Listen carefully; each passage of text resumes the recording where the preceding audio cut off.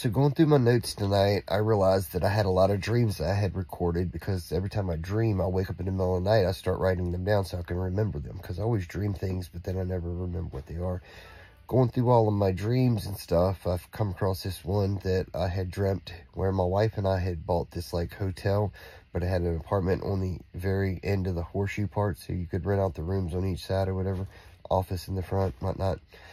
Well, um, we had started remodeling that place. The rest of the hotel had been remodeled, so those was pretty nice rooms. We was renting those out. Um, we started remodeling. While we started remodeling, we started seeing and hearing a lot of weird stuff happening. And I remember this one particular night, the light had started flickering on the microwave and started making noise and whatnot. And we was kind of getting freaked out by that. My wife had went into the room we were sleeping in at the time. And I went over and unplugged the microwave. And, uh, and it's the lights still kept on flashing and still was making noise and stuff but i didn't want to let her know that because i wasn't going to leave there you know just because of hearing some stuff. You know we were staying there that night i remember thinking um and then a little while later i felt this like hot and cold sensation like freezing cold and then like extreme heat. And then the next thing you know it was like this loud flash and then um this loud noise I didn't see anything, but my wife come running in there. She was like, oh my God, baby, did you see that?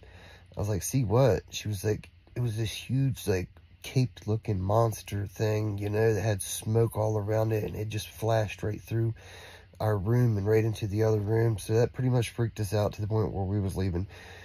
We decided to gather up as much stuff as we could. We just run out the door. I, I remember looking for the keys so I could lock it up and it just slammed shut at that point.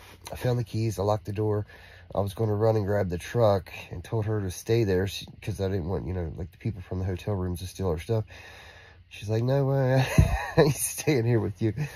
So we ended up leaving. Um, for some reason, it came to a point in my dream where she had like this AA sponsor and the guy is like, um, telling her, you know, that the ghost and stuff ain't gonna leave on their own, that we have to go there and figure out what's causing it and so on and so forth. We ended up ditching that dude and um, going back into the house and start remodeling and whatnot anyways. And the paranormal activity kept on happening to the point where it was just aggravating at that point. You know, we didn't even care no more. We just like, whatever, it's just happening.